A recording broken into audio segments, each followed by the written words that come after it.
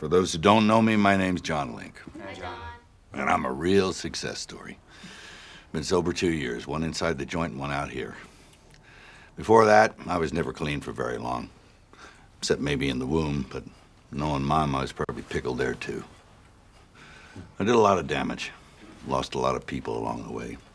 Some of them stay lost. It's not like they come back and give you an attaboy for quitting, you know. I got a kid I can't find, except on a milk carton. Ex won't talk to me. Every skill I ever had, every friend I ever knew is now a parole violation. But you can't be a prick all your life and then just say never mind. You know, I can't fix everything I broke. All I can do is not drink. So I won't do that today. Just like when I was in the joint all that time. Just count off every day until I die.